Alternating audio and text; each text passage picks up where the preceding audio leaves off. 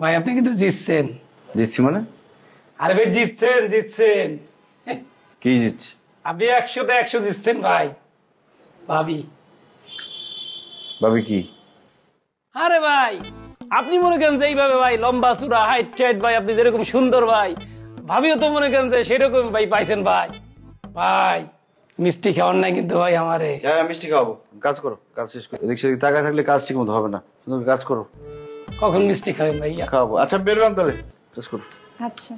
সাবধানে যাও।